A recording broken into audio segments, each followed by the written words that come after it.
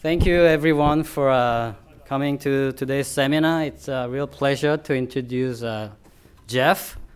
He is currently at Johns Hopkins University at the Department of Ophthalmology.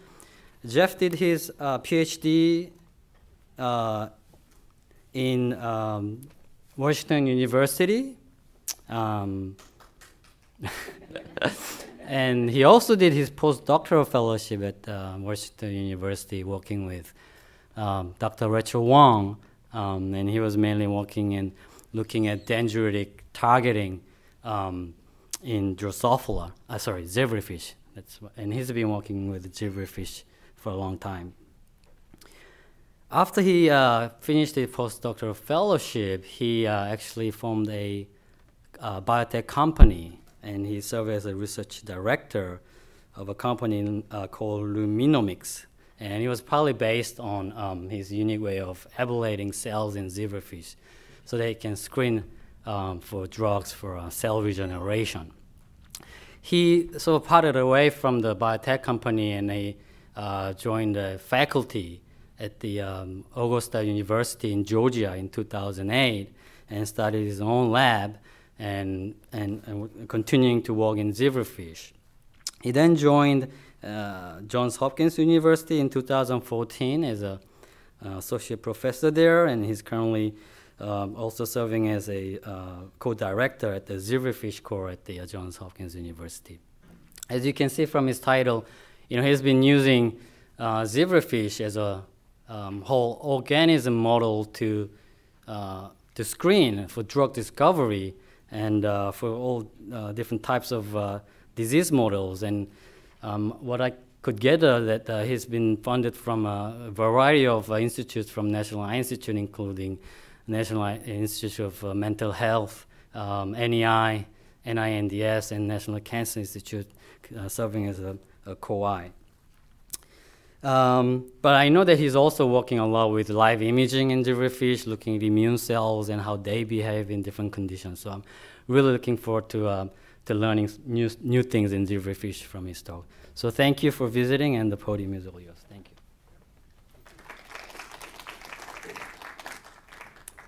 Hi, everybody. Uh, I just want to say thanks to Kevin and, and Vance uh, for the invitation. It's really nice to be down here and to see some old friends as well. It's, it's been a really nice morning, and I look forward to this afternoon. Um, to launch right in here, because I probably loaded this thing up too much, as, as usual. So I'm going to try to zip through some of the stuff that's a little bit easier to understand. Um, I just, at the outset, I do want to say there are awarded and pending patents on some of this stuff, so uh, you know I need to disclose that. And there was a company that was formed around it uh, that I was initially a director for, but um, now just sort of their customer more than anything else. They, uh, they have the robot that I use to do the drug screening. And um, so, you know, what it all comes down to to me is, is basically using the fish for the things that it can provide unique perspectives about. I think as a biologist, I think that's the trick to it, finding a species that is really uh, an excellent example of a particular kind of biology and leveraging the fact that they can do that really well to learn something about it. And uh, so there's a couple of other things that they do just technically, though, and that is that they develop really, really rapidly. They go from a single cell to sort of a, a, a recognizable vertebrate form in 24 hours, and you know, a couple days later, they look like an eye on a stick. And for a retinal biologist, that's pretty good because the eye's clearly very important to them, or it wouldn't be so big. And in fact, they, at about this stage, start to forage uh, for food and, and also try not to be food. So they're actually up and active as a vertebrate within four days. We can also then sort of turn them into a Crayola box and light up different cells or different cellular compartments and tissues in different colors to look at interactions uh, using confocal microscopy. And a large part of my lab uses time-lapse based intravital imaging to try to gain new insights about how cells interact during different paradigms such as degeneration. Um, and that, that, of course, you know, can, just a good example here of the, the cellular detail that can be had with that kind of technique. We're looking at the eye now and a particular population of bipolar cells. Here's the lens, interplexiform layer, and then the cyan pro, uh, fluorescent protein is pretty much just sort of a background stain allowing you to see uh, context in that particular line. But like I said, we can also put these kind of things in motion. You're looking at the entire orbit now. Uh, in, in this case, rod photoreceptors lit up in yellow, and microglia and macrophages lit up in red. As the photoreceptors are induced to die, you can see the macrophages go from a ramified classic homeostatic state into a highly rounded and migratory state that uh, is showing their relative reactivity to that photoreceptor cell death. And we use that to interrogate how they impinge upon the regenerative process. And for me, I think in terms of really gaining perspective, that's where the large focus of my lab exists. So it's a bit of a side tour, but I want to definitely give props to that idea of using them as a platform for regeneration, even though today's talks about neuroprotection. Um, and, and that in fact, I really like this quote. It sort of, it sort of articulates what I was trying to say earlier much better. And supposedly it's from Hippocrates, but it just lays out that idea of, of using something in nature uh, for the excellence that it exhibits as a way to learn about that. In the absence of that, things can be very difficult, say to make a mouse regenerate, I would say is harder than breaking that process in a fish in terms of a learning paradigm. Okay, so regenerative biology is probably some of the oldest experimental biology out there. And certain, certain scholars in the field would claim that, in fact, experimental biology came out of studies of things like snails and stuff way back in the 15 and 1600s, that that was our first foray into really manipulating the system and asking what happens downstream of that. Um, but by and large, it's a field populated by these really dramatic examples of things like whole on limb regeneration or whole body regeneration in the case of planaria and hydra. And of course, in, in, in zebrafish context, Ken Poss's work on heart regeneration and Gilbert Weidinger's as well uh, made quite a splash when, it, when that was revealed.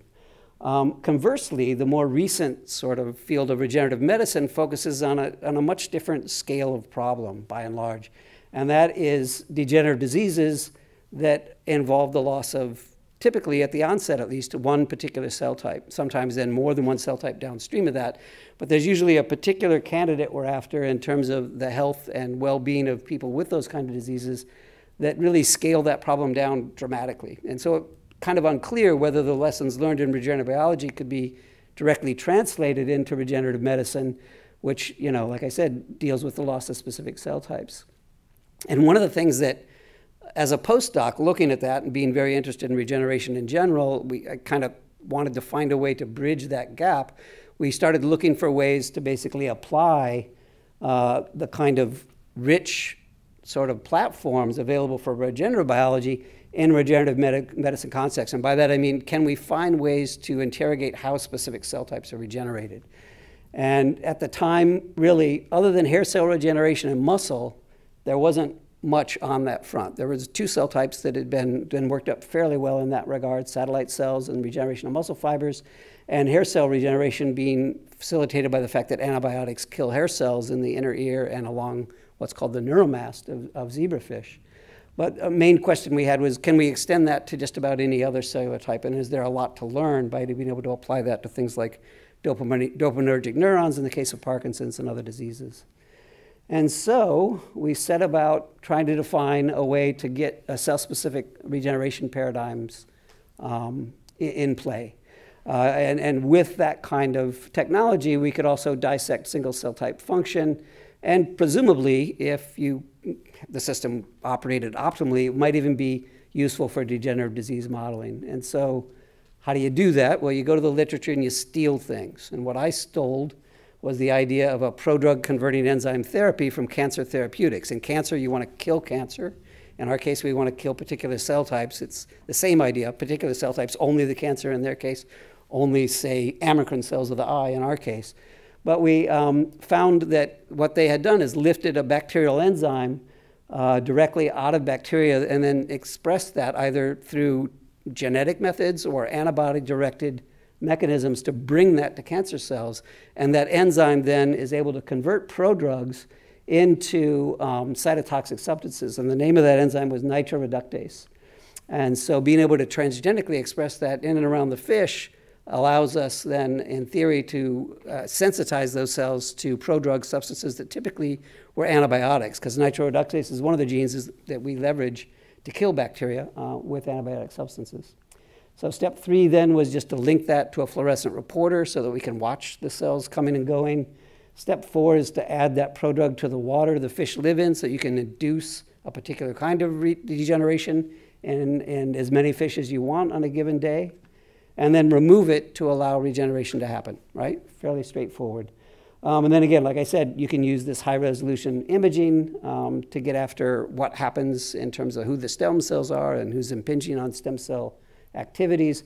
But you can also, by virtue of the fluorescent reporter, uh, presumably use high throughput methods to let you quantify the presence or absence of the cells to get after things that promote regeneration or, or promote neuroprotection. And that seemed simple enough, right? We made these day glow bright fish I thought, you know, I had biochemistry background as a graduate student. We did these plate reader based luminescence and fluorescence based assays all day long to look at transcriptional profiles. We should be able to just quantify these fluorescent fish. But um, that wasn't quite as easy as it turned out. Oh, this slide's out of place. Okay, so all of that preamble was not for this side.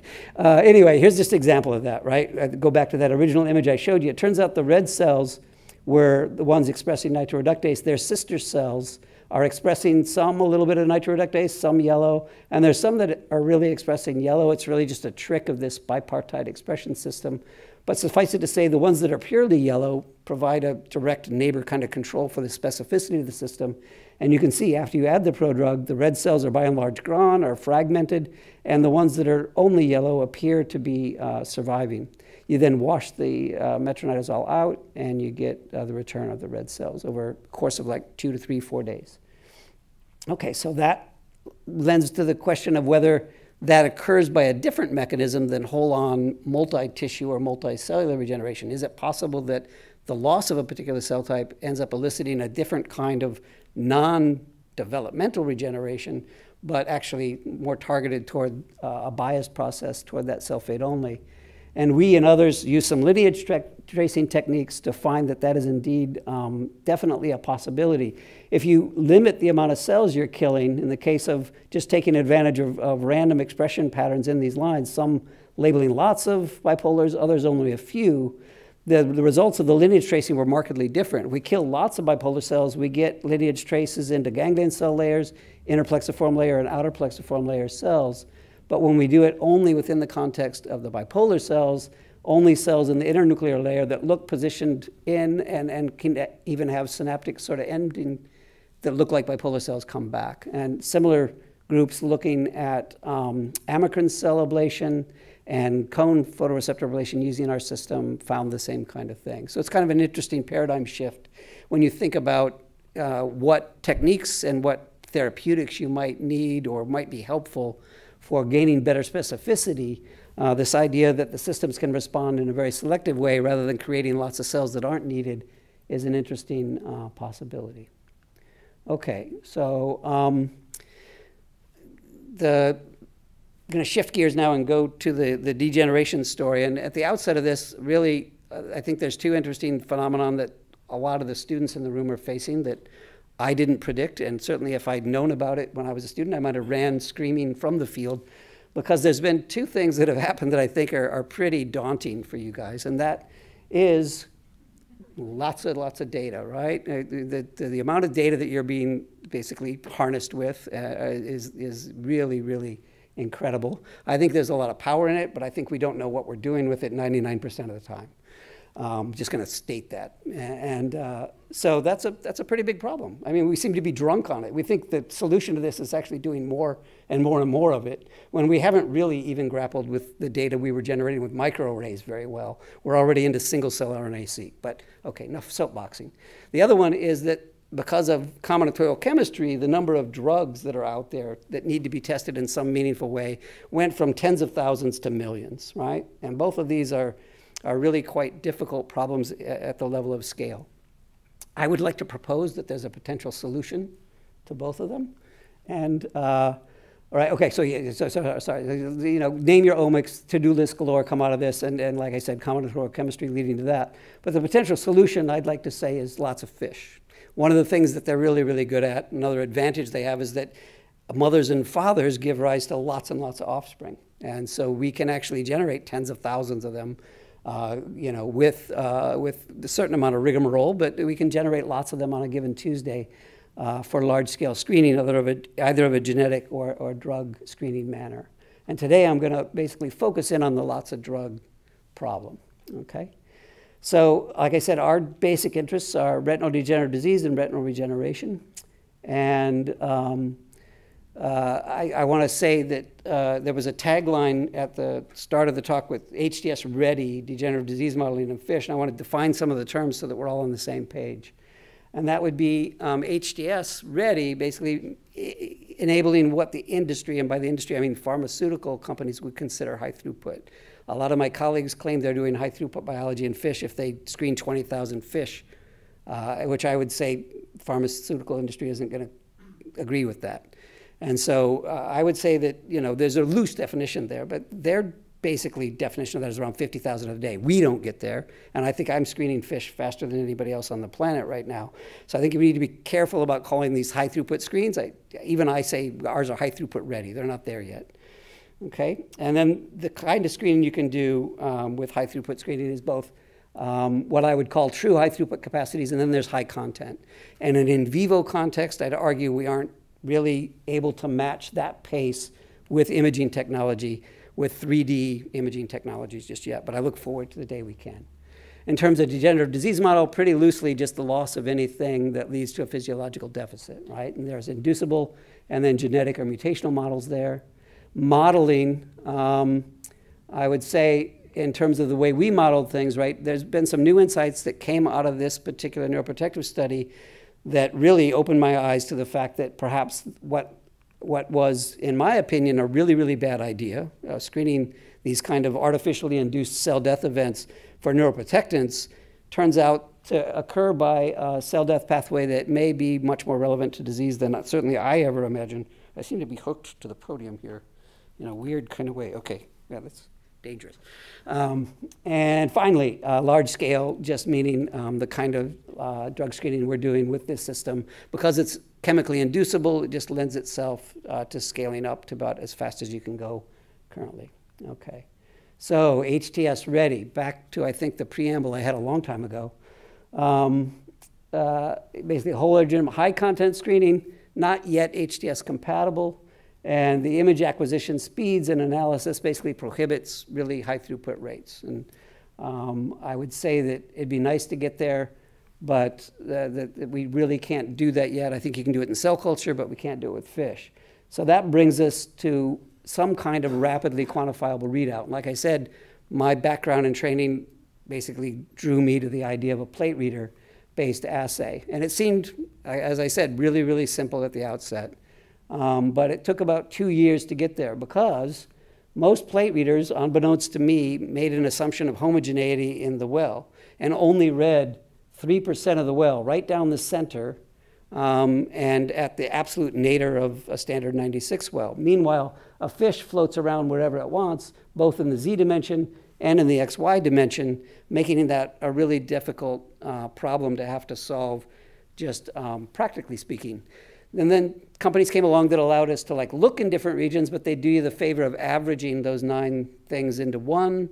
And that, of course, erased all your signal again. There was one company, TCAN, and their Infinite M1000 that actually gave us reports of those individual areas. And as you can see, when the fish was in these four quadrants, we got good signal. But certainly if I were to average that with the rest, I'd squash uh, the ability to see these things. So that simple trick, being able to focus in the Z dimension and get sort of uh, individually regionalized reports allowed us to go from nothing, absolutely no machine could ever see a fish, to actually signal to noise ratios approaching 100 to 1, even up to 1,000 to 1 with really good reporters. Okay, so how does it work then? Well, you hook something like that up, which is capable of around 200,000 of fish. Now your problem becomes getting fish into micro wells at that rate. And so um, we worked with a robotics company and with a company called Unia Biometrica to essentially use what is, for all intents and purposes, a FACS sorter for organisms. It looks at fluorescence profiles and, and deposits them into multi-well formats. And that machine slows us down. The plate reader, like I said, is capable of doing 200,000 a day. We're able to do around 10 to 20 because of just having to get them all arrayed like that. But that still lets us do some really nice tricks like dose response in the primary screening stage, which is a thing called quantitative high throughput screening markedly reduces false discovery rates, both in terms of things you might have missed because they weren't effective at a singular dosage, and eliminating false positives that are sort of spuriously active at a singular concentration. Um, also allows us that kind of pace to really use power statistics and other kinds of vetted statistics to ensure we have proper sample sizes for everything we do. And I think that's worth its weight in gold for sure. And um, kind of ironically, rather than running as fast as we can, we started out with this idea of repurposing compound libraries on the order of 3,000 or so, which were about as many human approved compounds as were available back when we got started. And the real value of this I'll get to later. Wasn't so much this idea of repurposing, but it actually had to do with the fact that a lot of um, you know assays had already been done with these molecules, and a lot was known about them already, so that it provide fairly rapid inroads into the biology at hand. Okay, so why bother? Uh, basically, I covered some of this, but beyond just all the advantages of going this fast, I think we were able to see subtler effects, and I think that that's really important. I think all or none sort of binary assays in, in chemical biology are usually pushed to the extremes again, and they're showing you things that are a kind of different kind of kinetically exaggerated biology that may or may not, may or may not be relevant to diseases that happen over decades. And we also get more hits, which allows us, you know, bigger windows of opportunity to learn more about the biology at hand, and a thing called polypharmacology, uh, which I think in the end is, is a field I'd really like to leverage more and more as we move forward. Okay, so uh, I think we've been through some of these fighting words, um, but I would argue that, that genetic models put into these kind of paradigms suffer this same sort of problem that we looking at human patients deal with, and that's that the onset of the diseases is randomized individual to individual across the spectrum. So having the, no discrete onset makes it really difficult, makes your sample sizes go through the roof if you were trying to do this with a genetic model system. But if you start with one of these inducible, temporally synced systems, like a drug inducible system like we had, I think we are able to basically pull that down into a range where we can do um, some fairly quick and, and, and, and rapidly efficient um, mechanisms. And I think they also probably lend themselves to more of a pan disease rather than sort of genetically driven argument that might be relevant only for given patient uh, subpopulations. Okay, I already showed you this. Don't know why that's there. Let's move on. Oh, I, yeah, so this works for cellular regeneration, cell-specific uh, functional assays, but this idea of degenerative disease modeling, like I told you, I thought it was crazy. And the Foundation Fighting Blindness basically argued with me to give me money, and I was stupid enough to be arguing the opposite of that. And eventually I realized that was silly. Why don't we take this money and, and learn some things about the system that we really didn't understand very well? And that's how the cells are dying. Okay, so um, the disease we chose to go after, uh, mainly because we were able to target them really easy transgenically, were um, diseases involving the loss of rod photoreceptors, so retinitis pigmentosa and related inherited retinal diseases. You take those things away, and you've got uh, you know loss of night vision initially, and then subsequently loss of cones that lead to total blindness. Um, but in the case of fish, like I told you, the Mueller glia, the major radial glia of the retina, can actually produce new progenitor cells that go on to solve that problem right? So we, a large part of the lab studies that particular thing. But the other thing um, that we are very interested in doing is asking whether, well, okay, we lose some of these things, can we bring compounds in to protect the others that are there to survive? And that's really um, the state of the art right now, therapeutically, within the context of retinal disease, is just promoting the survival of things that exist so that further loss of visual capacities don't happen. Okay, so here's what it looks like in terms of the imaging. Um, without prodrug, uh, the line has a lot of photoreceptors down here in the ventral domain, which is not part of the transgene at all. That's actually normal. That's where most of their photo, rod photoreceptors exist. Um, suggests that they do a lot of feeding at night at the, in the dorsal domain of, of, of water. And uh, once we put in this prodrug called metronidazole, we elicit DNA damage that leads to cell death. And here you can see them all beating up uh, two days later. Okay, um, we then titrated that metronidazole down so that we can reduce it to a minimum amount that gave us maximal loss rates at two days, um, but giving the neuroprotectants the best chance of working against the system without being simply swamped out by the amount of prodrug. And um, we made some assumptions then at the onset, and that was that RP is caused by apoptosis, which literature from roughly 30 years ago told us. Hasn't really been updated much, frankly.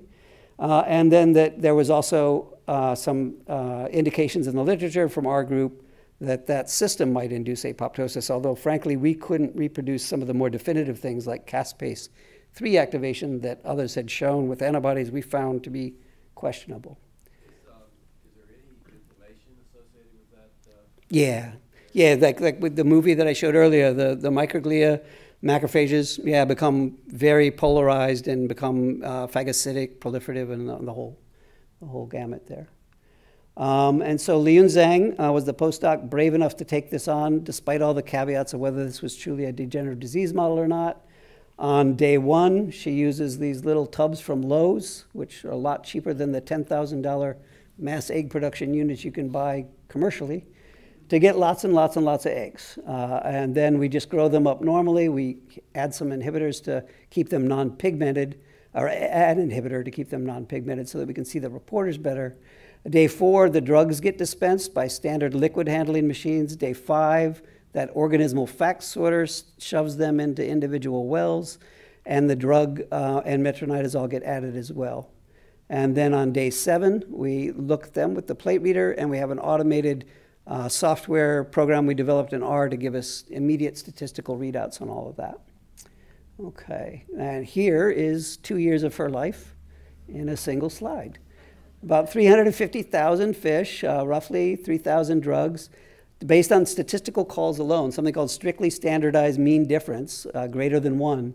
We had about 114 hits. We then looked at those in terms of their dose response, in terms of their SSMD score, and we pulled out 42 that became our high priority hits and shoved them through a series of secondary validation and orthogonal screens, and that resulted in 11 of the 42 advancing as lead drug candidates. And so I'll take you through some of that now. Here's just those 11 in terms of their effect size, which varied from about 38% survival down to around 10% survival, all of which the p values are, are quite. Uh, I, am trying to avoid the word significant. I've been reading a lot of this literature about. Let's stop talking about that and just say effect sizes. And you think 38% survival is good, then that's a good thing. Maybe 10% is questionable. Who knows? Uh, clinicians would have a better idea. Uh, anyway, we then went in as a validation screen and just did confocal imaging. Here's the negative control. You can see there's very few cells that survive after that. Positive control, quite a few cells up in that dorsal domain. And then we just looked in that dorsal kind of quadrant again and again and found, with the exception of the one that's only around 10% survival, most seem to be providing pretty good survival effects at the level of, of imaging as well as this plate reader based uh, non imaging, I should emphasize, purely quantitative readout.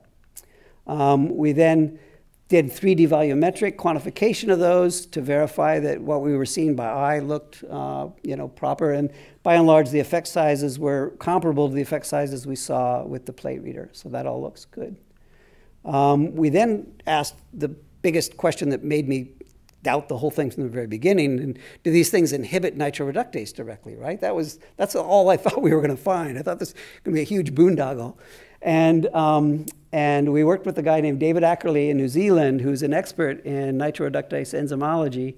And he's got a very nice assay to look at um, the kinetics of prodrug conversion.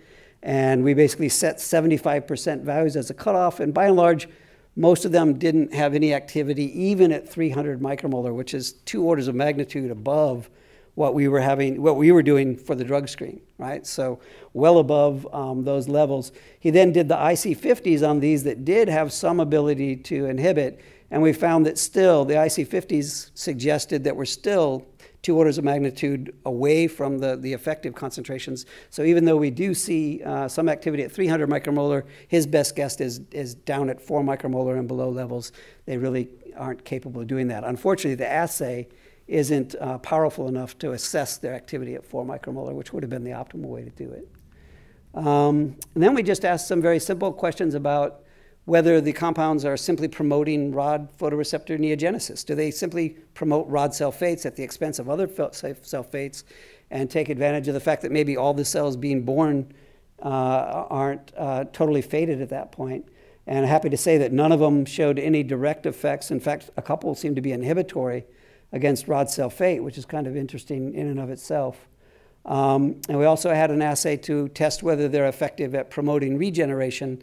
Uh, second screen that I hope to be able to come back and talk about someday because I think that'll be a lot of fun as well. But in that case, the drugs aren't added along with the metronidazole. They're added after, uh, 24 hours after the induction of cell death. And we look for uh, kinetic change that we'd seen with glucocorticoids in the case of uh, work on, on inflammatory signaling we'd done previous.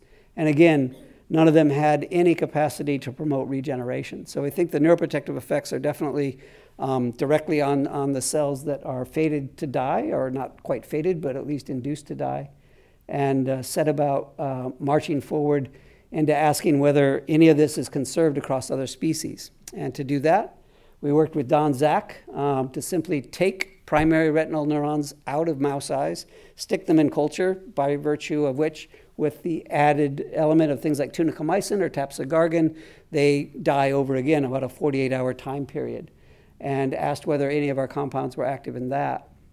And it turned out that about six of nine lead drug candidates that were tested did have activity in at least all retinal cells, or when we actually sorted for GFP positive photoreceptors, uh, different subpopulations were active in that, which looked pretty good.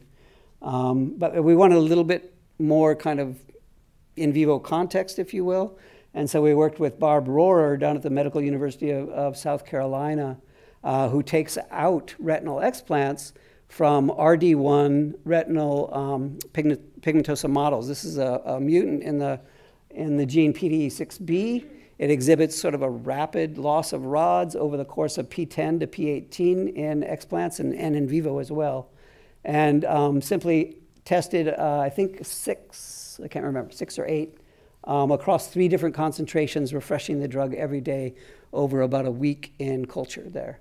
And um, that to much to my uh, you know surprise and, and, happiness, about three of those six um, gave quite good results.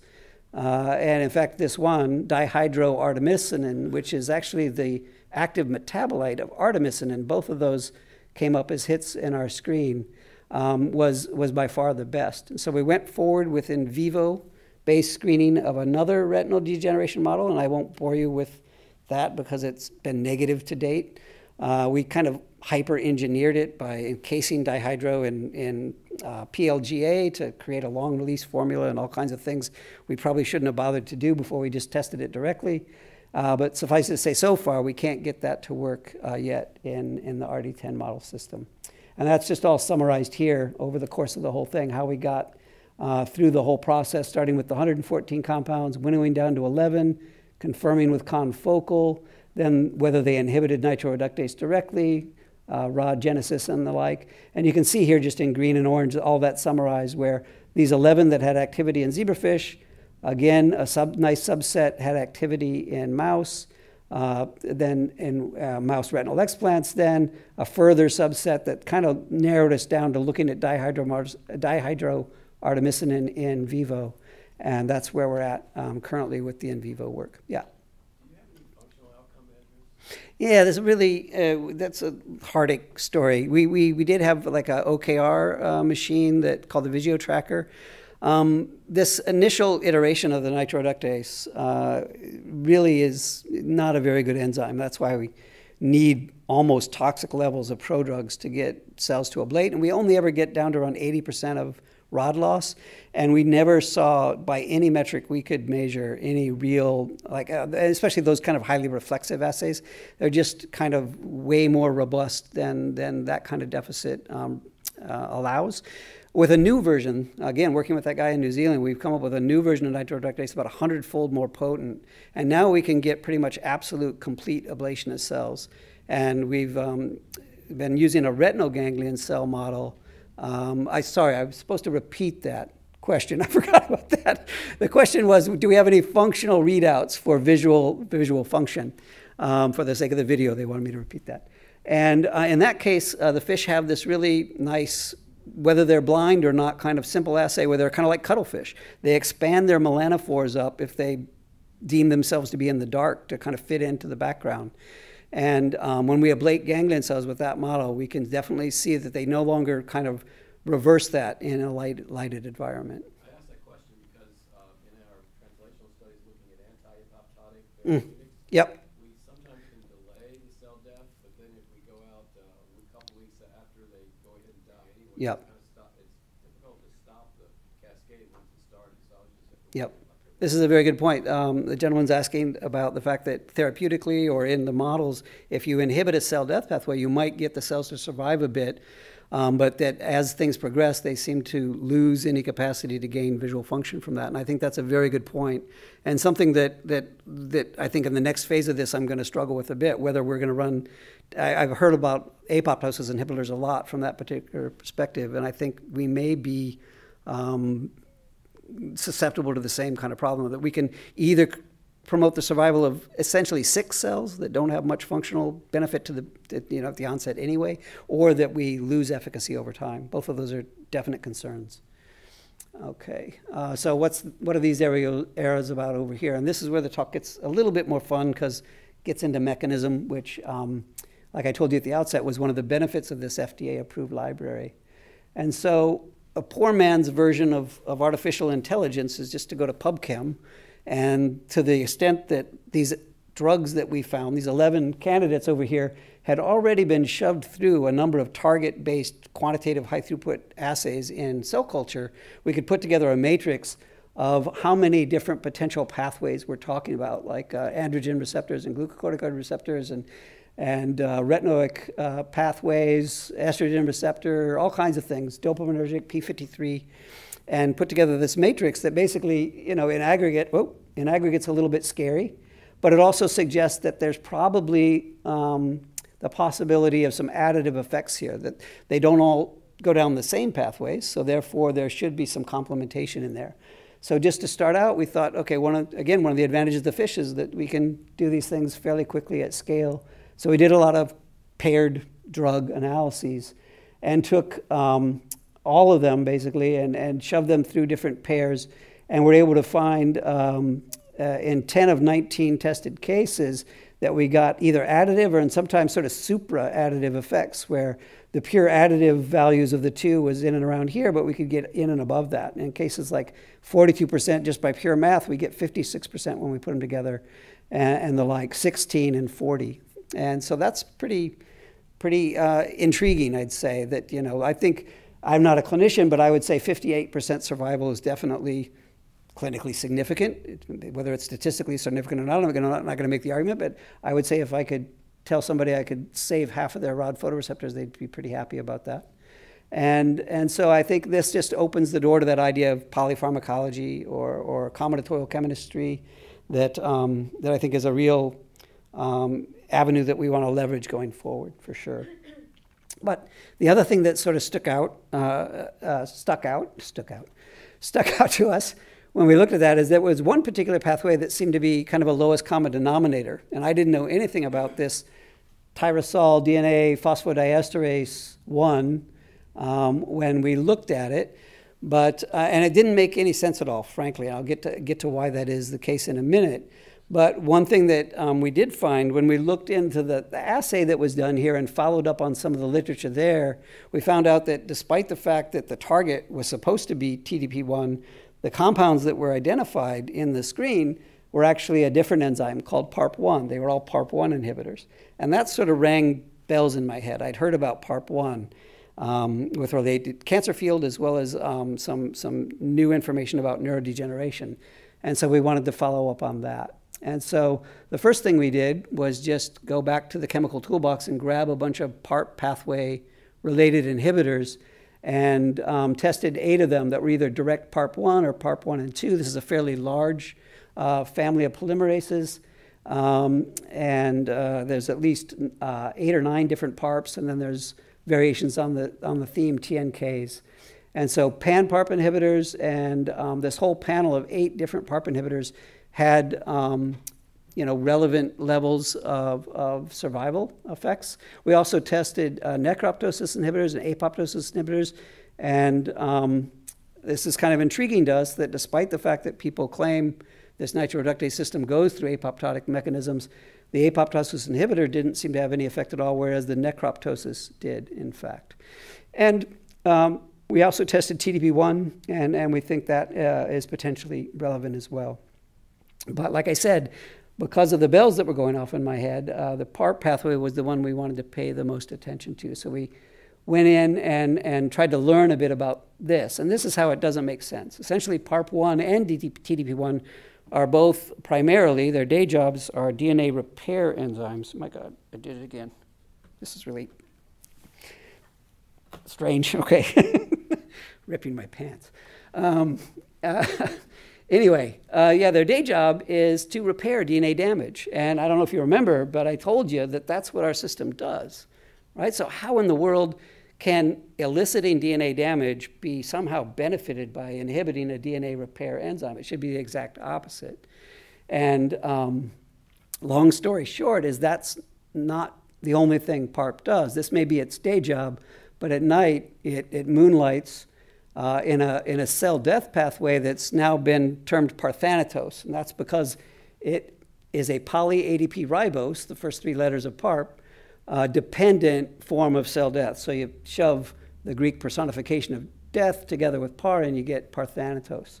And how that works is that DNA damage basically uh, activates PARP um, to ribosylate DNA and, and proteins as well. So you get an increase of poly ADP ribose throughout the nucleus and cytoplasm. That ribosylation process leads to the release from mitochondria of, of somewhat paradoxically the apoptosis inducing factor. But in, in the context of this particular cell death pathway, that inducing factor actually partners up with an enzyme that has a really unfortunate name, macrophage inhibitory factor, which is in fact a nuclease that then translocates the nuclease, and the MIF uh, continues to fragment DNA that's already damaged so that they kill cells that presumably have sort of tipped over some rheostat set point of too much DNA damage, right? So it goes from being a repair process to an active cell death pathway, presumably at some level of DNA damage that it deems it can't handle. And so, other than NMDA cytotoxicity, stroke, and MNNG models, we'd like to propose that nitroreductase system that we use kind of plops in here as well as another mechanism um, to, to, to, mediate this. And, and I should mention, this is totally caspase independent. So it's a completely independent form of death than, than apoptosis. And it has certain biochemical signatures that kind of come along for the ride with all this. Unfortunately, biochemistry is one of the areas that fish aren't advantageous. In fact, they suck worse than probably any model system out there. And so we actually collaborated with um, Val Canto Solar, who used to be at uh, Hopkins Willmar. Now she's at Colorado running her own stem cell group. And she uh, basically used our nitroreductase system to create transgenic organoid models with that and could introduce um, or induce cell death in those. And using those, we're both able, this assay is okay for fish. The, the, the um, PAR antibodies are pretty good. We can see that upon induction of cell death, we get a massive upregulation of PAR in fish and in the organoid models here. But she was able to go a little bit further and show actual translocation to the nucleus of AIF and MIF as well, as you'd predict uh, if the pathway is active uh, to become a, a, cell death pathway. And so, um, of the sort of seven different sort of hallmarks here of how the system works, we think we probably have verified five of those. We're still looking for ways to look at PARP activation in the systems, and we want to do some IP pull downs here to look at AIF, MIF, uh, physical interaction. But it looks pretty good that, in fact, um, what the system is doing is it eliciting this DNA damage in, in induced mechanism of cell death. And the good news about that is uh, that PARP is involved not only in that particular pathway, but it's also involved in this uh, other pathway called CGMP dependent death that some of you interested in photoreceptor degeneration may have read about. And so, long story short, there, I don't want to belabor the point, but it, literature is now coming up that suggests there's a common non apoptotic cell death mechanism that is actually sort of the calling card of many hereditary retinal degenerative disease states. This is the work uh, of a gentleman named Francois Paquet-Durand. He took in this particular paper 10 different retinal degenerative disease models and looked at the biochemical pathway by which the cells are dying and could only find evidence of apoptosis in, I believe, one of them. But uh, PARP dependent pathways were common to all of them. Um, he subsequently then um, uh, ran down this idea of essentially this being a process mediated by elevated CGMP. And that PARP is a, is a, is a component of that particular pathway that's critical to mediate death in that um, model. The reason my antenna went up about it wasn't at all related at the time to inherited retinal degeneration. It was actually within the context of Parkinson's.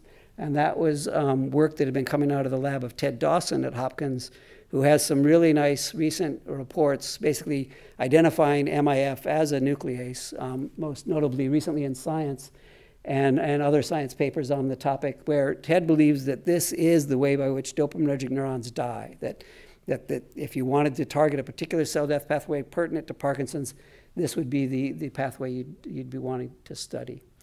And so um, I think, you know, it, it looks then like our, our long and twisted route of getting here had some relevance to neurodegenerative disease, um, sort of very thankfully. And um, the lead, count, lead compound uh, hopefully has relevance to genetic models of RP as well. And to test that, um, we've gone to RetNet, like a lot of people, and, and noted that there's a lot to do. And in particular, uh, we used CRISPR Cas9 multiplexed process to target uh, four different genes involved in retinitis pigmentosa and had a recent um, uh, publication in uh, Frontiers in uh, Developmental Cell Biology, I believe, um, basically characterizing uh, rhodopsin based autosomal dominant mutant, but we have now several other recessive models as well. And we're very interested in asking, you know, how many of these different forms of genetically linked retinitis pigmentosa can be ameliorated with the compounds that we're testing. And so that's kind of where we're at with that one. Okay, so summary overall in terms of HDS ready, I hope I've convinced you that this kind of robotics automated platform is about as close as we can get um, to, to getting there. And the trick to that is just numbers rather than images. At the first, at the first area of in interrogation, just you know, find a way to light up with reporter-based systems the biology you're interested in, and you can go much faster and really take advantage of the scale um, that whatever system your study is capable of. Um, degenerative disease, uh, I think the jury's still out, but I hope I've provided some evidence to suggest that this may, in fact, um, have some relevance, this relatively artificial system um, that I didn't have much faith in in this regard seems to definitely have some interesting leads in that regard. And um, I don't have time to tell you about it, but I think we're about to have a paper come out on this improved NTR enzyme that's going to allow us to do some fun things in that regard, uh, namely sustained ablation paradigms, where we could actually create chronically inflamed fish that can't solve this problem in, the matter, in a matter of 24 or 48 hours and ask whether that alone is enough to sort of ground out regenerative capacity. If you have a fish that's faced with 50% cell death for a month rather than just a single day, does that uh, create a cascade of inflammatory related signaling that, that impinges on its, its regenerative capacity? And then finally, um, just summarizing there that we, about 3,000 drugs, 3, 350,000 larvae. We got some novel neuroprotectants and some novel insights into potential mechanisms by which to save photoreceptors. And with that, I just want to thank Liyun, uh, who did the lion's share of all that work. Uh, many people uh, uh that we got a lot of help from, uh, both within Hopkins and outside of Hopkins, to, to follow up on various leads are in blue there. Um, and the funding agencies, by, by far, Foundation Fighting Blindness really taking a chance on that project and, and allowing us the, the sort of levity to go after uh, a deeper understanding of what we were up to on that, on that level was really, really helpful. So thank you very much for your attention.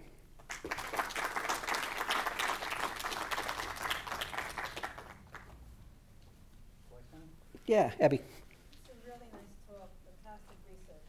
And so I have a question when you when you're talking about the synergism Mm-hmm. between all the additives of that so do you think that park might be mediating or being involved in some of those other pathways now or could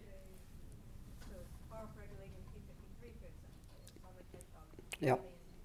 Yeah, ironically, I, I, did some homework real quick last night because a lot of this is new to me.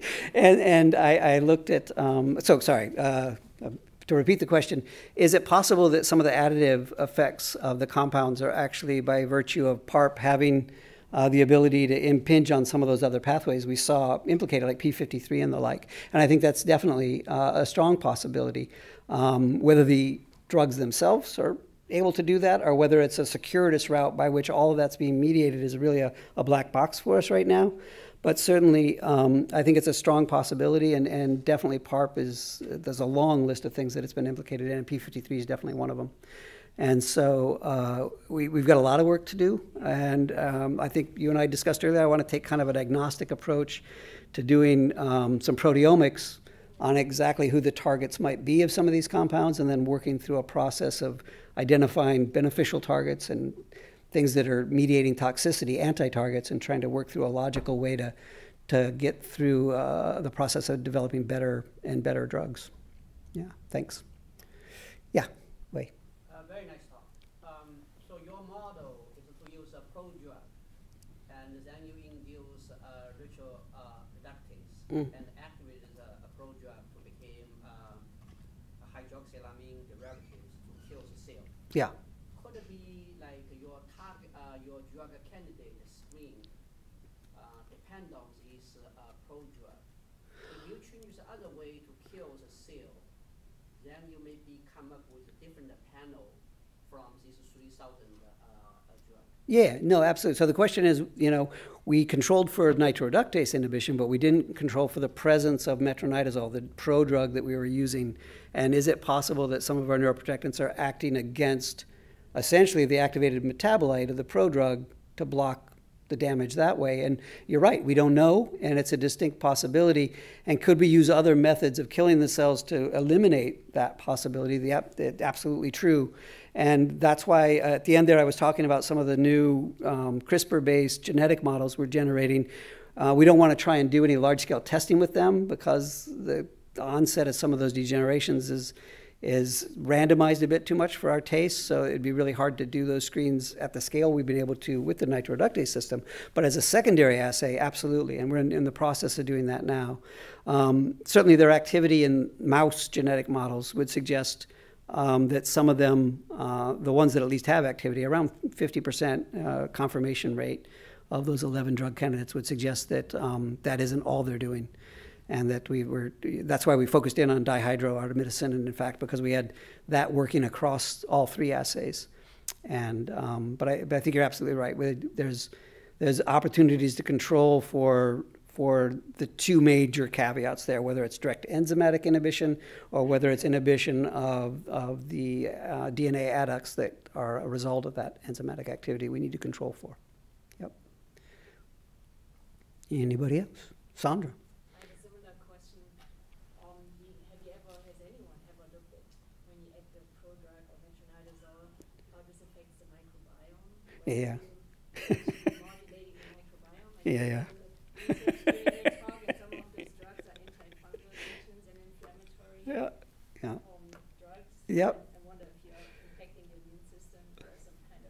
a microbiome, Yep.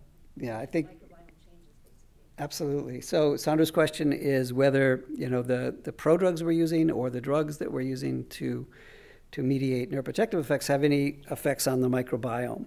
And um, anybody who's been on an antibiotic course for any disease uh, knows that the interaction with the gut can be quite dramatic. And um, i- absolutely, yeah, we were working with John Rawls uh, at Duke, who's um, expert in, in microbiome and fish, and came out of J- Jeff Gordon's lab at WashU uh, with working in mice um, as well. And so I, I would guess absolutely um, that certainly at the levels that we're putting that antibiotic in, um, we've been able to observe some very kind of amusing byproducts of of what happens to the gut uh, when, when we put 10 millimolar metronidazole in. And um, we're hoping that this new version that gets us down to 100 micromolar levels to affect um, actually more, more effective ablation at 100 micromolar than we've ever been able to do at 10. Um, we're, we're very interested in actually asking how much we've attenuated that problem, at least with the prodrugs, because I think that's a very um, salient point, and certainly there's literature out there on a number of different things that, that metronidazole is capable of doing that, that we aren't controlling for currently. So I think, yeah, the, the good news is that this new one, you know, and, and hopefully we'll have you know, we're calling it NTR 2.0, and ho- hopefully there'll be a 3.0 at some point that eventually gets us just well away from all of those caveats and, and certainly well away from the general toxicity that has always been a huge, huge sort of thorn in my side uh, in terms of using the system. So, yeah, it's a good question. Okay. Okay, thank you very much. Yeah, thanks, everybody.